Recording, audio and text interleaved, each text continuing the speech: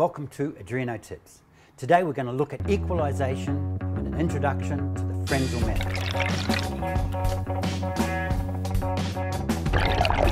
When we're diving, we're increasing the outside pressure and for our comfort's sake, we have to equalize uh, and repressure the air pockets we carry with us. Of all the things that will keep us out of the water, probably the thing that does it most is damage to one's ears. And this should make equalization a major point and a major skill that everyone should master. As we descend, where we have increasing pressure around us,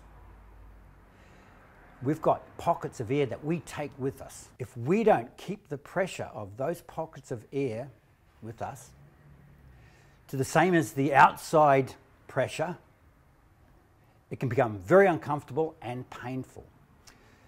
So, equalization is all about changing the pressure of the air pockets that we're taking down to the outside pressure of the water. You'll notice as soon as you get down a few meters, the mask sucks onto your face. Well, that's the pressure from the outside pushing on that, uh, the less pressure of the air inside the mask, and the mask sucks on. And now, if you go deep enough, you can actually cause a bit of damage with that an example of this is uh, in early in our freediving career, we had a person who went down 40 meters at one stage. The pressure increased and the mask sucked onto his face. And he managed to uh, disrupt or break many capillaries in his eyes. So his eye whites became red for some days later.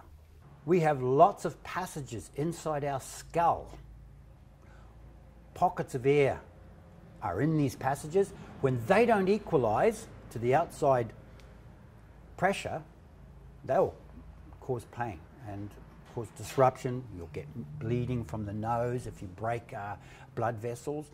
The good thing about the sinus passages is when you equalize them, it's the same way as you equalize your ears.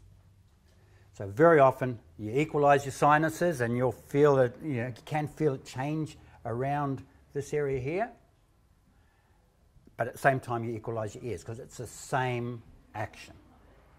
So we're going to concentrate on the ears because it is the ears that can cause major damage. The problem is when the outside pressure, so that's the outside, here is the outside pressure, pushes on the air drum, and we're talking about the membrane that's facing, that's holding the water, it forces it in that causes discomfort and pain. You go down a metre, you'll feel a change in there. That's the pressure pushing this in. You go further down, the pressure increases, now it gets painful. Okay? When we equalise, we're pushing the pressure of air into this part, which is your inner ear, and it straightens it up again. And so there's equal pressure there and there. And as you go down a bit further, the pressure creates, we equalise it again. And this is what we're doing maintaining the inside cavities, pressure of air pressure, to the outside pressure of the water around us. It's not hard to damage that membrane. If one goes past the area of discomfort or goes into the area of pain, you're really in a, in, in a place you shouldn't be. You can't afford to go there. So as soon as it gets discomfort, you have to stop descending. Now, this in two different spheres here, and a, freediver can be two meters away from his target depth and goes, Oh, it's not feeling that bad in his ears. And he could go down to that extra two meters and perforate the eardrum, which means there's a hole. You know? That's pretty dangerous for a uh, for a uh, freediver because uh, when the air perforates, it can cause dizziness. And you don't want to be down deep and have dizziness and out of balance feelings when you're, you know, when you're freediving. That's just not good. Okay, now spear fishing, that fish could be down another two meters. The idea you think, oh, I just ride my ears. is this term you hear, oh, I just ride my ears. Don't ride your ears. You want to be around diving and spearfishing for a long time. Don't ride your ears. If you don't get an equalization, stop. And it's possible. You don't get an equalization and you're trying and you're working at it and you, you want to go down further. it is possible that you're still descending and not realizing it.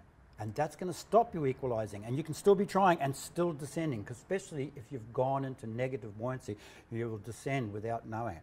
This is another way your drum can be perforated. You're trying to equalize while still descending. When you stop because of the pressure and the pain or whatever, make sure you're not still descending because that can be what perforates your eardrum. Sometimes it's, you know, especially when you're new, equalize once or twice a meter especially in the top 10 meters.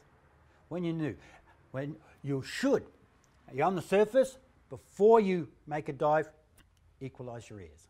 So you're already starting up with ears that are slightly pressurized outwards.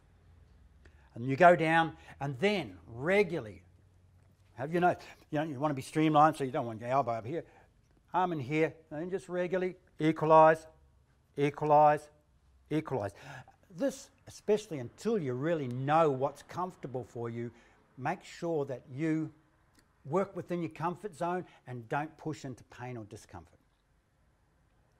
Very important. Later on, when you get to know exactly when you need to equalize, well, you, stop thinking about it. It becomes just the normal.